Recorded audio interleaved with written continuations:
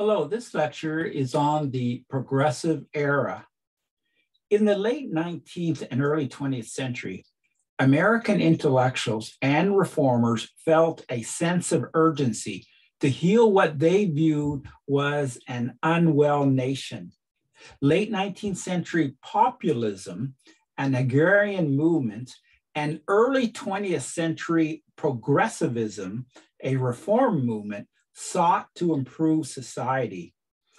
Reformers addressed the grievances of workers, farmers, women, and African Americans and encouraged the early rise of statism.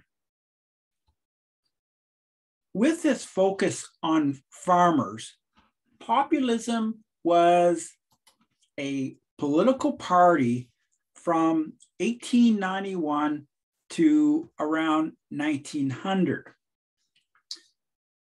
In 1891, the People's Party, or also the Populist Party, the People's Party was created from a coalition of farmers and laborers. The People's Party advocated the free coinage of silver, a graduated income tax, and government control of railroads. According to populists, free coinage of silver and thus an expanded currency would give the American public a more accessible currency than was the case of currency based on gold, which was rarer and expensive. Increasing the rate of taxation on rising incomes, the graduated income tax would make wealthier citizens pay proportionally more taxes than anyone else. The goal of having government controlled controlling railroads was to lessen the power of the wealthy railroad businessmen. There were critics who labeled the populists as hayseed socialists, many historians claim that the robber baron label was invented and popularized by Kansas farmers and others in the Midwest who were critical of the masters of the railway system. But the term itself was used in a New York Times editorial in the late 1850s. The key point is to recognize there was a pro populist contribution by intellectuals living in, in Atlantic seaboard cities. So, what we have is just a, a word of explanation here. We, in this time period, you would have others who would um, refer to the captains of industry, these industrialists, as robber barons. And this was something that uh, socialists certainly did. This is a term that they, they would use. But the po- populace, the people, the People's Party itself, there were some that would refer to that, that entity as hayseed socialists. In the sorry, in the 1892 presidential election, the People's Party presidential candidate, James Weaver, received approximately 1 million votes or 8.5% of the votes. Four years later, populist supported Democrat leader William Jennings Bryan who was sympathetic to some of the demands of the populace. With Bryan's loss to Republican William McKinley, populism increasingly lost political steam. Also, at the national level was the Progressive Party led by Theodore Roosevelt from 1912 to 1916. So when we're talking about progressivism, uh, there's certainly a clear connection between the, the populist in the late 1800s and the progressives a little later. But you have two parties. You have the People's Party in the late 1800s, and then you have the Progressive Party. The Progressive Party was a Republican splinter group that focus on the goal of government regulation of business. Although in 1912, Democrat Woodrow Wilson defeated Roosevelt, the election represented the high mark for progressivism. It should be stressed that Wilson pushed through progressive acts that took aim at monopolistic business practices.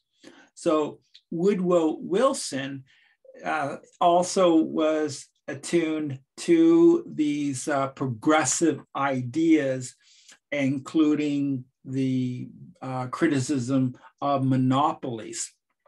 Progressivism as a way of thinking existed before the Progressive Party.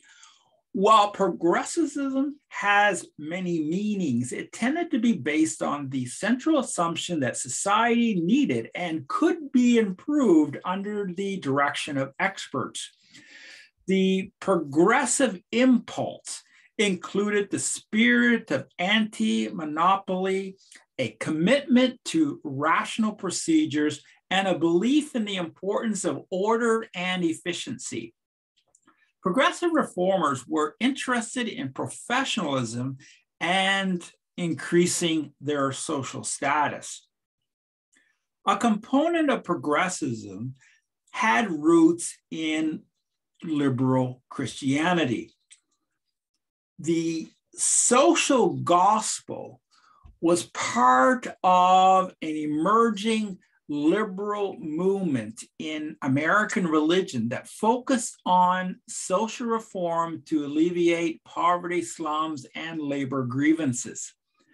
Theolo- theologians associated with the social gospel discredited the literal accuracy of the Bible and em- emphasized instead its general moral and ethical lessons.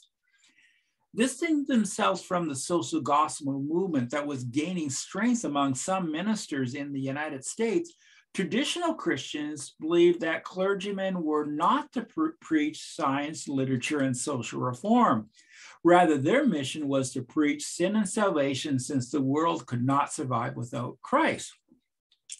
D.L. Moody lamented, quote, there is so much talk of reform, reform, reform, till I am sick of the whole thing. What is wanted is to preach Christ in season and out of season. Moody understood that the building of a kingdom of God on earth was impossible to achieve because all people are corrupt. He told revival audiences, We are naturally bad. Who in this audience would be willing to have his heart photographed with all its real thoughts and passions brought to light? Moody desired that individuals reach for Christ's kingdom, but the kingdom he referred to was not a kingdom of God on earth, but it was almost exclusively the kingdom of heaven.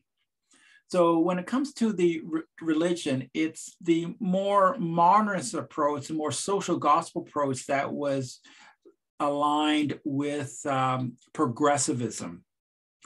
D.L. Moody uh, endorsed a premillennial understanding of end times, the belief that the millennium or 1,000 years of righteousness could only begin with the physical arrival of Jesus. And he argued that churches were negligent in failing to preach the second coming of Christ. His pessimism was contrary to the postmillennialism that 19th century liberal, liberal Protestants accepted.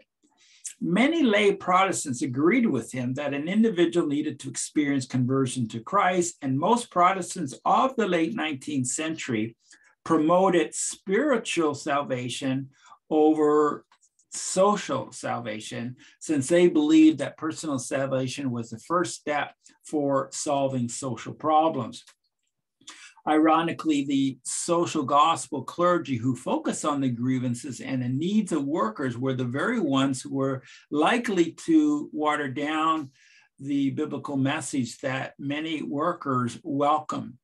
So, studies in this in this era show that there were a significant number of you know working people that would be drawn to these various uh, revival meetings that were taking place where uh, where there was a biblical message but moody and others like him the more traditional christians believe that for solving social problems, it started with uh, individual salvation. So this was a contrast to the message of progressivism.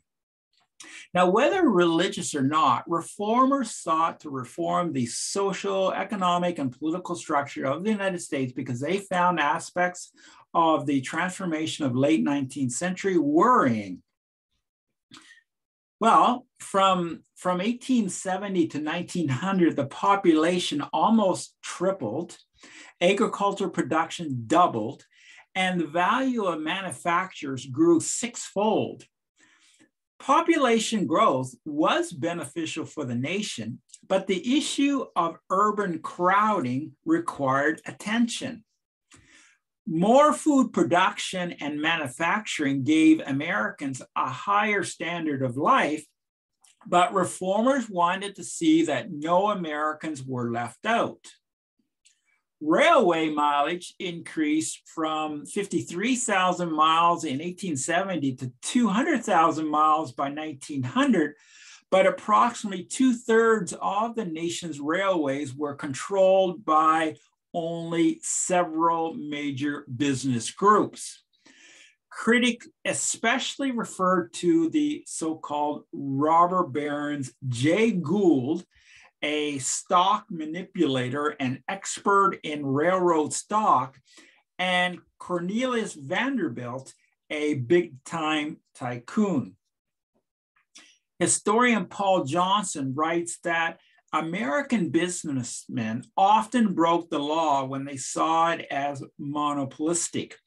Vanderbilt came to see the law as something created in favor of one group of manipulating members of state legislatures or paying expensive lawyers to win court decisions.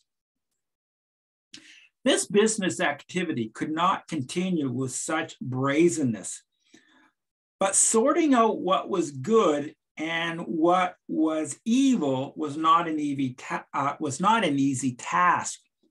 Reformers themselves could be self serving, dedicated to reclaiming their importance in the face of the overwhelming power of big business. For some reformers, for some progressives, the American myth appeared to be dying. Things were not getting better in, the, in how they viewed it. With the rise of trusts and combines, there was a concentration of power in these uh, private uh, and, and larger corporations. The bribing of legislatures and Congress uh, politicians was scandalous. And, and they were wondering was the Republic turning into an aristocracy of capital? Some workers face new pressures. With the ad advent of job simplification and standardization, many skilled workers lost some status. Labor unionists lamented that many of, of those in semi skilled positions were newly arrived immigrants who often lacked traditions of labor uh, resistance and organization.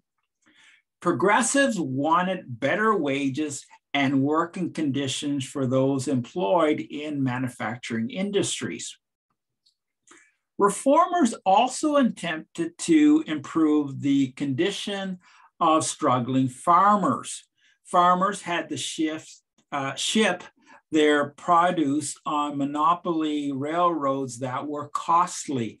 The ex- farmers experienced bouts when there was a long term decline in commodity prices caused by domestic overproduction and growing international competition for world markets. Frustrating the farmers, frustrating the farmers were high tariffs. Manufacturers were protected, but farmers were not. Farmers sold their products at low prices in competitive foreign markets, but had to purchase their farm machinery at elevated prices due to high tariff prices. Many, many farmers were in debt, and the problem caused by in, an inadequate currency and circulation made matters worse. Farmers had other challenges. They generally worked longer hours than industrial workers. The average farmer's week was 68 hours compared to the average 56 hours for those employed in manufacturing industries. Farm children spent less time in school than city children, and they left school at an earlier age. Agrarian protests, however, did simmer down when the four year depression of 1893 and 1896 ended. The farmers were doing better. And one reason, some argue, was the major discoveries of gold. The increased supply of gold put more money in, in the economy, and farmers' debt burden began to ease. Progressives challenge women's suffrage, or champion, sorry, champion women's suffrage. In the 19th century, getting the vote was low for, uh, was a low priority for American women. Women activists were enthusiastic with abolitionism and temperance, but less so for women's suffrage. This began to change in the late 1800s the National American Women Suffrage Movement increased its membership from 13,000 in the year 1893 to 2 million in the year um, 1917. In 1916, both the Republican Party and the Democratic Party endorsed women's suffrage in 1919, there were 15 states who granted full suffrage to men. The following year, the 19th Amendment gave the vote to all American women. The first section read The right of citizens of the United States to vote shall not be denied or abridged by the United States or, or by any state on account of sex. So 1920, we now, all women have the vote. One notable feature of the progressive era was the impact of crusading journalists. Known as muckrakers, these journalists typically targeted captains of industry, in the 1880s, the New York City based Puck, a satirical publication, ran cartoons that attacked railroad industrialists. Another major publication was McClure's magazine that published articles by muckrakers such as Lincoln Steffens, who wrote about corruption in the cities, and Ida Tar- Tarbell, who wrote about uh, Standard Oil. The writers generally lack objectivity, but they wrote persuasively. Ida Tarbell was extremely critical of Rockefeller and Standard Oil. Um, she saw Rockefeller, who she believed was responsible for putting her father an independent oil producer out of business. Her brother also worked for a competing oil company. And thus, there were there was ample motivation for her to attack uh, Rockefeller. Some of her interpretations were wrong, but her successful writing demonstrated that muckraking and political agitation could even, quote, defeat a competitive product enjoyed by millions of consumers, end of quote. Rockefeller was naive to believe that facts would speak for themselves. As one historian writes, Rockefeller's facts were dwarfed by the negative publicity from McClure's, from editorial pages, and finally from the White House. Although S.S. McClure, the founder of McClure's magazine was a chronic adulterer, he was able to recruit good writers who were eager to, eager to shape the nation with um, often emotional arguments of America's shortcomings. Overall, the impact of progressivism was lasting Progressives and activists represented a remarkably mixed bag of characters, eccentrics, and prophets. The gains that resulted from progressive activity cannot be denied. At the first broad-based national, as the first broad-based national reform movement, it built the foundation of the modern activist state. However, the progressive failed to advance the rights of African Americans. So, just as a bit of um, a review, they, they made some headway on the issue of suffrage, on women getting the vote. They raised some awareness of some of the grievances that workers had uh, and also some of the issues that concern farmers. But as far as any kind of improvements with the African Americans as a result of progressive ideas, it did not happen. Neither the populists nor progressives made race relations a priority. Race received little attention from progressives. As one historian writes, African Americans face greater obstacles than any other group in challenging their own oppressed status and seeking reform.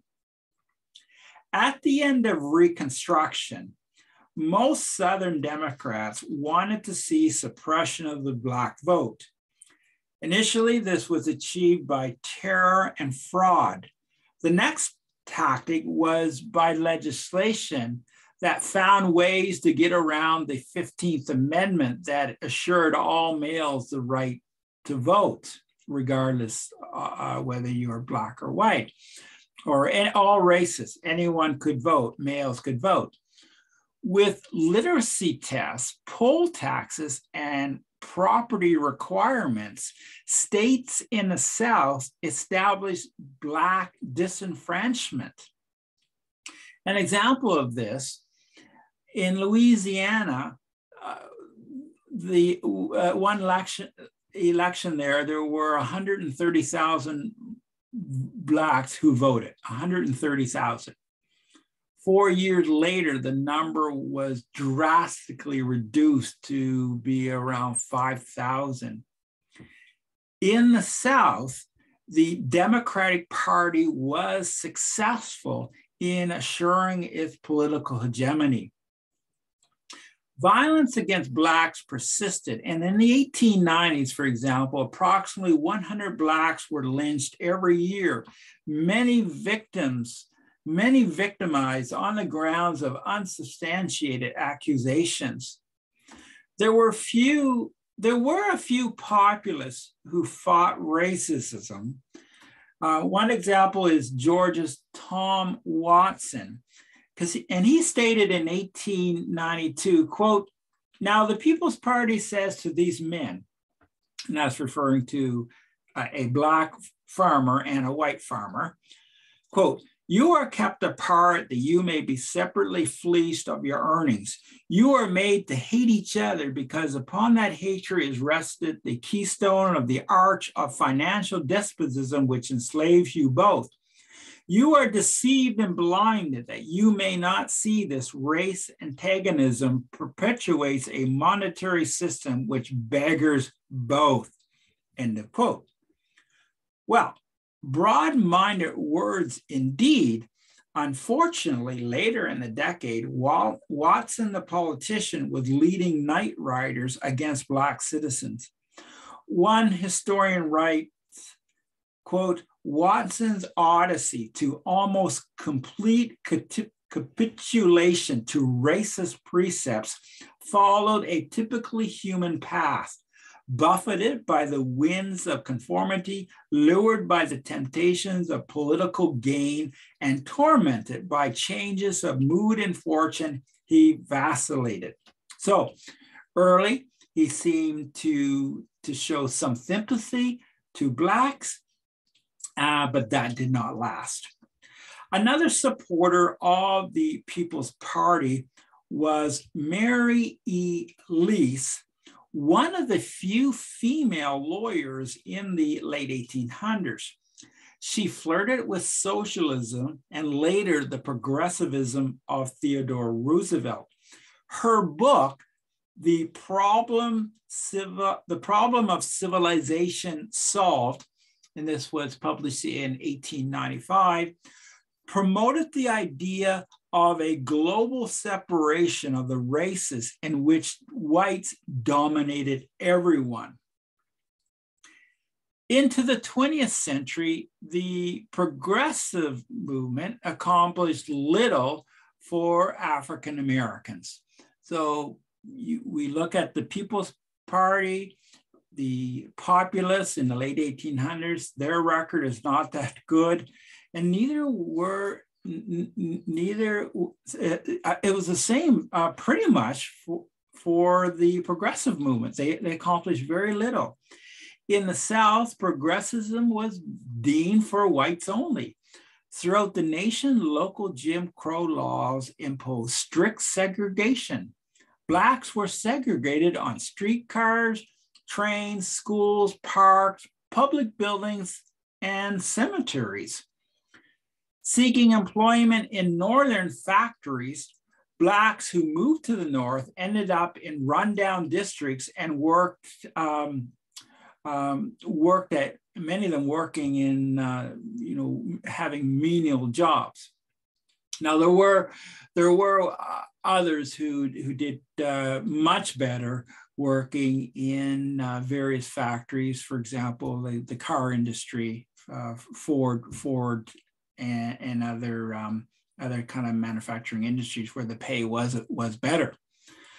Uh, for blacks, their children tended to they they would more or less attend uh, really rundown schools, and basically what we see is that many uh, back in the in the South, many Southern progressives saw legalized segregation as a as a progressive reform. So both in, in the South and the North, um, the picture is uh, rather bleak. The philosophy of Booker T. Washington, focusing on economic rather than political advancement, was challenged by Black reformers. Washington was an educationist who wrote up from slavery. This was published in 1901.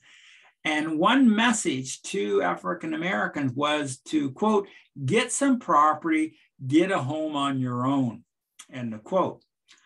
Well, co founder of the National Association for the Advancement of Colored People, the NAACP, and later socialist W.E. Du Bois believed Washington's ideas were unnecessarily limiting to Blacks. So there was a strong debate between Washington and Du Bois.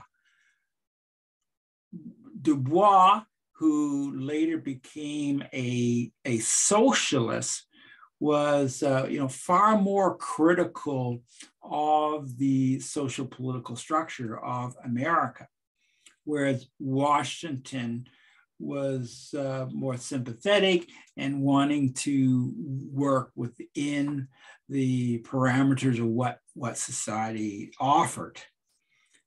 Some progressives, such as settlement house worker Mary White Ovington, played a part in the creation of the NAACP.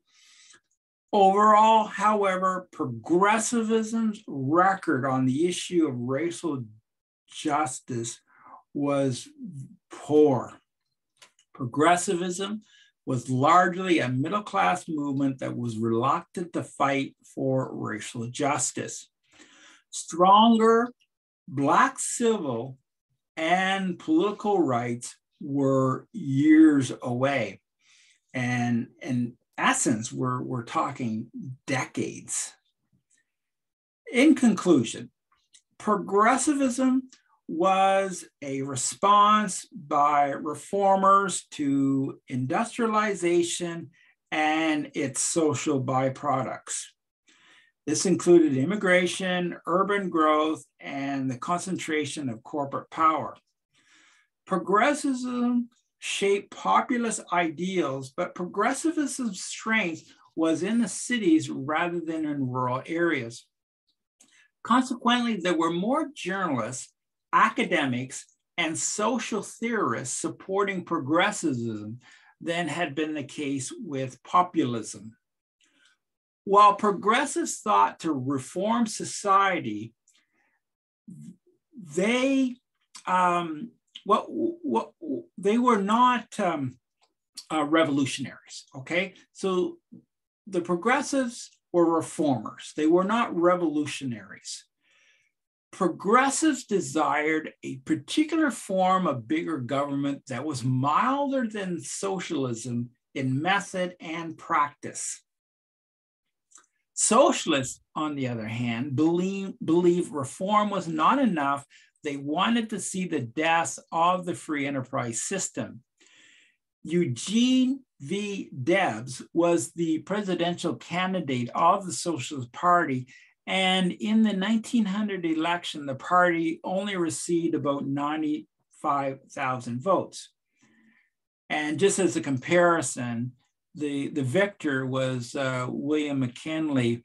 Uh, the Republican Party won the presidency with over uh, 7 million votes, followed closely by William Jennings Bryan, who represented kind of both the Democrats and the Populist Party, he had 6.5 million. So the, the 95,000 votes was, was, was pretty small in comparison. Progressivism, most notable failure was on African American issues. So, Southern politics, dominated by the Democratic Party, was not good for Blacks.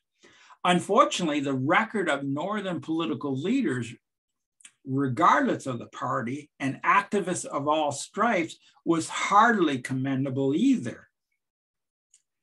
Economist Murray Rothbard is, is critical of the larger progressive movement, viewing it as the beginnings of greater statism and a flawed political economic system.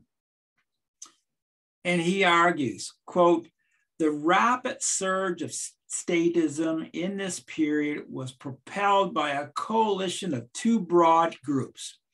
A, certain big business groups anxious to replace a roughly laissez-faire economy by a new form of mercantilism, cartelized and controlled and subsidized by a strong government under their influence and control, and B, newly burgeoning group of groups of intellectuals, technocrats, and professionals, economists, writers, engineers, planners, physicians, etc., anxious for power and lucrative employment at the hands of the state. So Rothbard offers uh, quite, um, quite a blunt uh, critique of progressivism. Whether or not progressivism was successful makes for a good debate. Certainly, progressive ideas had left a lasting effect.